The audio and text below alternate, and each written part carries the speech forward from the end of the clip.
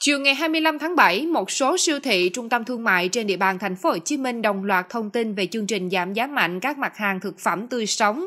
Hệ thống Central Retail cho biết, hàng chục sản phẩm thực phẩm tươi sống bao gồm thịt cá, hải sản, rau củ và trái cây tiếp tục được hệ thống siêu thị Go, Bixi giảm giá 10%.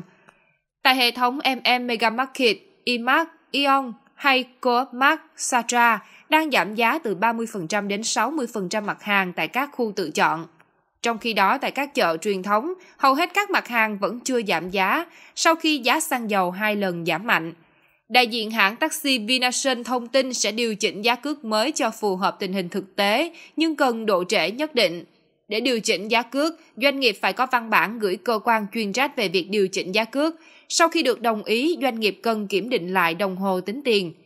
Đại diện các chợ đầu mối như Hóc Môn, Bình Điền, Thủ Đức cho biết không có tình trạng nhảy giá. Bà con tiểu thương đã chủ động điều chỉnh mức giá bán tốt nhất đến tay người tiêu dùng.